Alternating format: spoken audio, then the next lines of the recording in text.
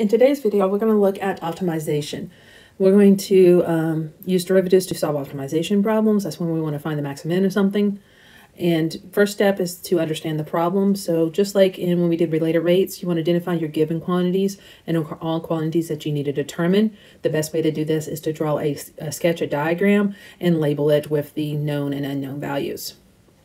Then you're going to write what's called the primary equation for the quantities that is to be maximized or minimized. So read the problem, ask yourself, what am I trying to minimize or what am I trying to maximize? And write an equation for that situation. This is called your primary equation.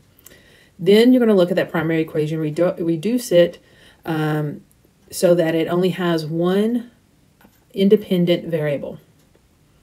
So if it's in terms of like volume in terms of our um, radius and height, then we need to rewrite it so it's in terms of all radius or all height. So we're not going to use implicit differentiation at all. We want one independent variable. Now, in order to do this, you might have to find a secondary equation that relates your independent variables together so that you can substitute in place of one of the variables so that you have your um, primary equation written in terms of one independent variable.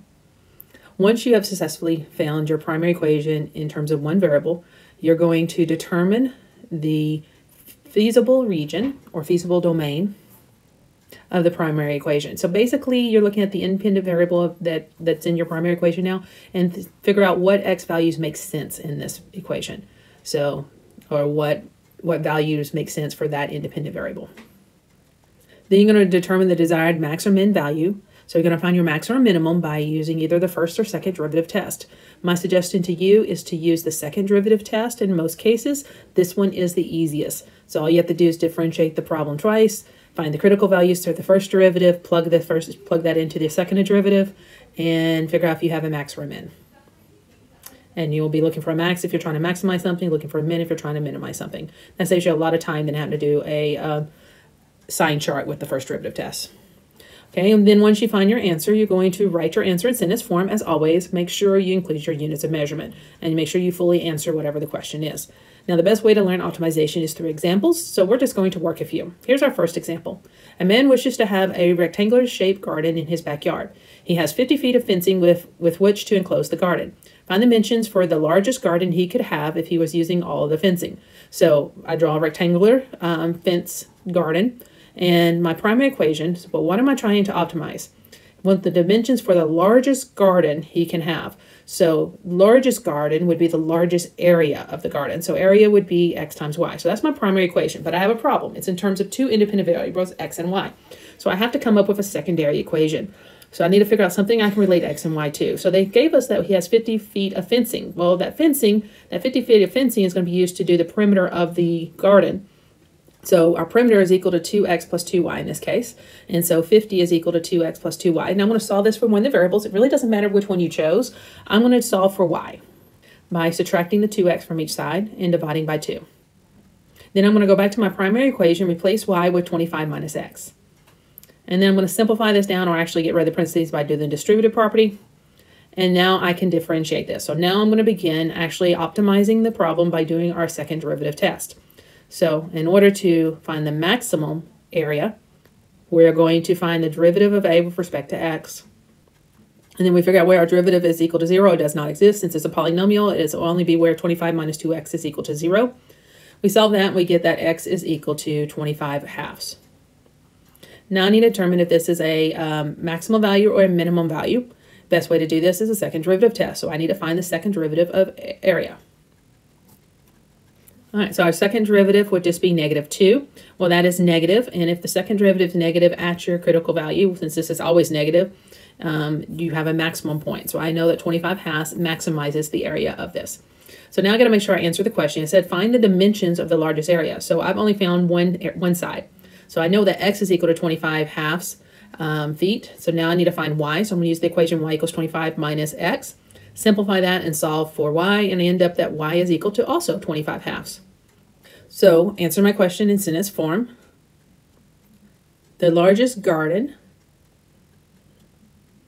will have dimensions of 25 halves feet by 25 halves feet, and you're done with your first optimization problem. Let's move on to the next problem.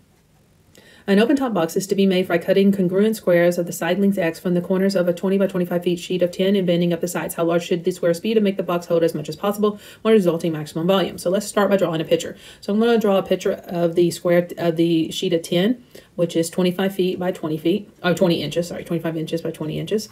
Then I'm going to cut out squares in each corner. These squares are going to be x by x dimension. And then on those dashed lines, I'm going to fold, I'm going to fold up where I cut out, then I'm going to fold up and form a open top box.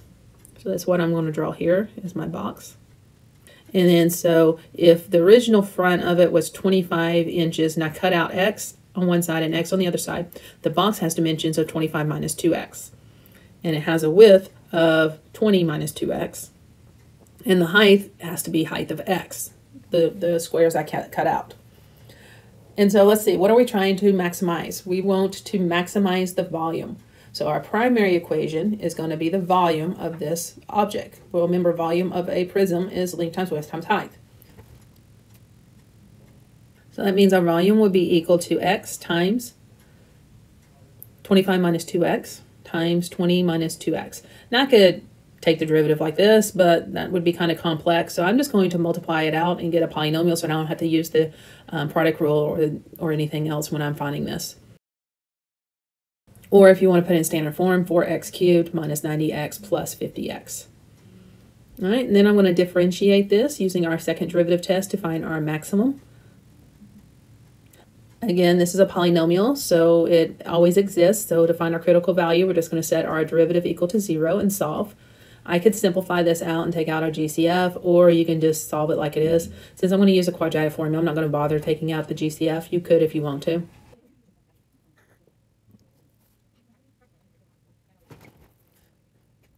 So we figure out our critical values are 45 plus or minus 5 the square root of, six, of 21 over 6.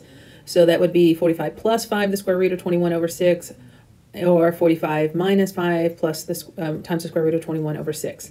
Now, plugging both of these into my calculator, I see that 45 plus 5, the square root of 21 over 6 is approximately 11.319, and 45 minus 5, the square root of 21 over 6 is approximately 3.681. Now I need to figure out if both of these are possible maximum points or if they are in my um, feasible region. So let's talk about the feasible region for this one. So feasible region is what x values make sense in this problem. Well, if I started with a 10 of 20, 25 by 20, I know that I can't, and I got to make a volume, and box, x has to be at least greater than zero.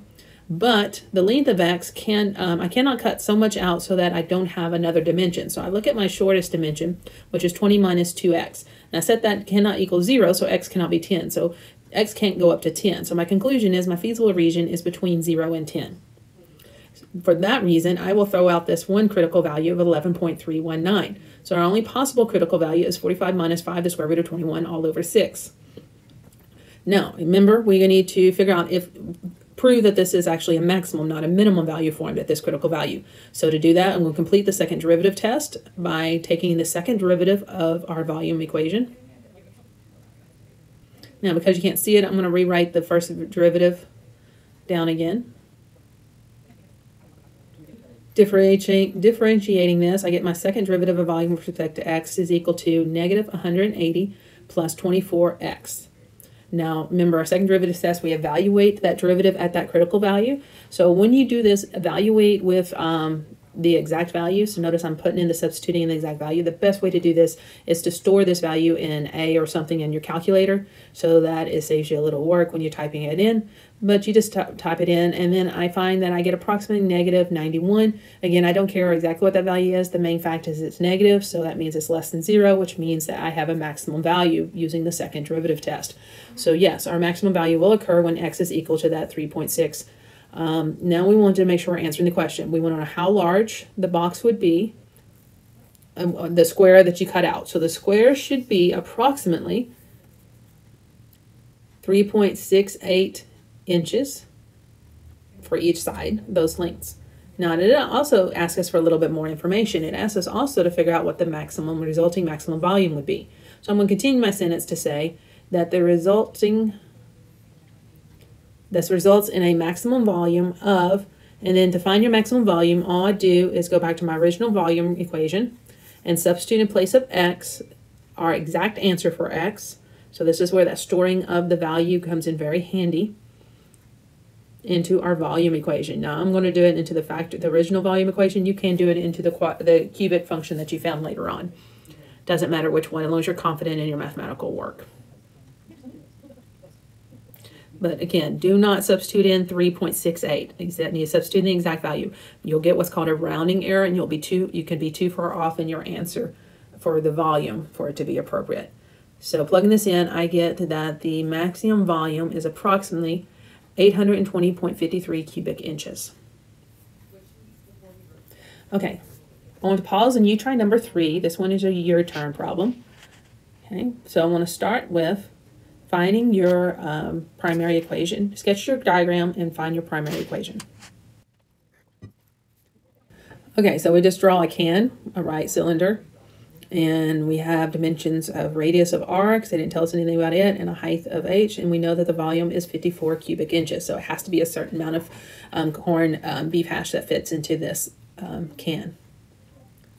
But that's not what I'm trying to maximize. I'm trying to find the least amount of material. So the material that's used to form this is not the volume or the area, but it's the surface area. So our primary equation is going to be the surface area of the cylinder. Now the surface area is the area of the base, the bottom, which is a circle, plus the area of the top, which is also a circle. So that's two times the area of a circle, plus the circumference around the can. I mean the distance around the can, which is the circumference times the height, because that forms a rectangle and so this is our equation of our surface area. And this is what we're trying to maximize. But because it is not in single variable, you have to find a secondary equation. Find your secondary equation. Okay, to find the secondary equation, I'm going to use the knowledge that the volume of a right cylinder cone is a right cylinder is equal to um, pi r squared h. And so we know the volume has to be 54. So solving for h, I get h is equal to 54 divided by pi r squared. So now I'm going to go back to my primary equation, replace h with 54 divided by pi r squared, and simplify that down. Okay, next we need to find our um, critical values. So I'll pause while you find your critical values for this surface area function. Now, to use that, um, I'm going to change my notation here. I'm going to replace S of A, surface area, with F of X notation. So it's just a change of notation. So f of x is going to equal to surface area. And I just did that because it's going to be easier to do my derivative notation with this, but it's not required at all. All right, so the derivative of f of x is equal to 4 pi r minus 108 r to the negative 2. So we need to simplify this, find a common denominator, and rewrite it without negative exponents. So this becomes our derivative. Now, before I figure out whether derivative equals zero or does not exist, I'm going to look at my feasible regions for r. What makes sense for r? Well, r needs to be positive, or we wouldn't have a radius, we wouldn't have a can. So our main thing is r has to be greater than zero, and h also has to be greater than zero. And so I don't have to worry about where this is not does not exist, because then r would be zero, which would not make sense in this problem. So all I got to do is set the numerator equal to zero and solve to find our critical value.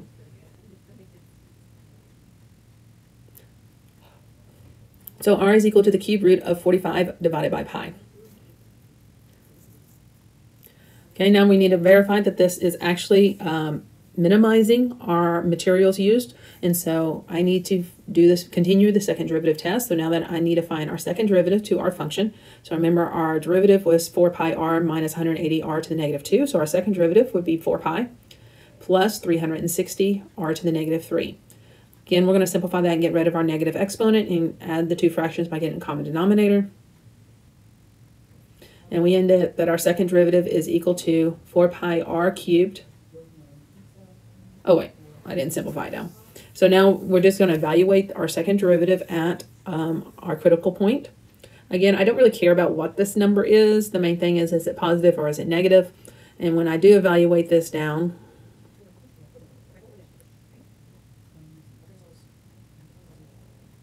you end up that the second derivative is equal to 12 pi, which is greater than zero. So yes, we have a minimum here. So this does minimize our surface area. Now let's look, make sure we determine. We want to determine the radius and the height of the, of the um, container that requires the least amount of material. So we have, we have the radius, but we have not had the height yet. So we need to find the height. So I'm going to use this equation here that we have h is equal to 54 divided by pi r squared. And then we're going to solve this for um, h by replacing the r with what we found r to equal to, which is the cube root of 45 divided by pi. And typing that into my calculator, I get that h is approximately 2.91 and R is approximately 2.43. Now remember, I did not type in 2.43 into my H equation to find my H value. That would get us a rounding error. So you make sure that you only round at the end. So write my answer as it's in its form. So the corned beef hash container should have a radius of approximately 2.9, 2.43 inches by 2.91 and a height of approximately 2.91 inches. And this would result in using the least amount of material, and so therefore saving the company more money. Okay, pause the video again. I want you to try the next example. See if you can figure out the dimensions of the field with, which will be le least expensive to enclose. Step one, we need to draw a diagram for the situation. So I'm going to label our sides as x and y because it forms a rectangle. And then we're going to come up, what are we trying to um, minimize in this case? We want the least expensive enclosure, so we need to minimize cost of building the fence. So our primary equation is going to be the cost of the fence, and the cost is going to be equal to each side times how much it costs to build that side. So our two x sides cost us $3 each, so 3 times 2x. One of the Ys costs $3, and the Y along the river costs $5 per meter. So simplifying that down, I get that my cost function is equal to 6x plus 8y. Again, I have a problem. My cost function, my primary equation is in two independent variables, x and y, so I need to find a secondary equation. Find your secondary equation. So look at the other given information to find our secondary equation. The area of the field is to be 1,200 square meters. So area, which is x times y, is equal to 1,200. Solve that for y, and I get y is equal to 1,200 divided by x. So go back to my cost equation, replace y with 1,200 divided by x, and simplify down. Now we need to perform the second derivative test to find our maximum value. Now that this cost function is in terms of one variable c, I'm going to rewrite it in function notation, the c of x. So the derivative of c with respect to x is going to be 6 minus 900, 9,600 um, x to the negative 2, and then we're just going to simplify this down. Now again, our feasible region for this is that x cannot be, um, x must be greater than 0, y also must be greater than 0. So since my feasible region is x is greater than 0, I don't have to worry about when the derivative does not exist. That cannot be a critical value because that would be when x is 0, which does not make sense. So all I have to worry about is when our derivative equals 0, and that would be when the numerator equals 0. So solving that equation, I get x squared is equal to 1600, so x is equal to plus or minus 40. But x must be greater than 0, so I can disregard the negative 40 and say that x is 40. So I only have one critical value left to work with that works in the feasible region. And so to continuing our second derivative test, I need to find the second derivative of our cost function, which would be 19,200x to the negative 3. Evaluate this cost function at our critical value of 40, and that's definitely going to give us a positive value. And so since it's positive, that represents a minimum. So yes, we have minimized cost. So that's the least expensive enclosure.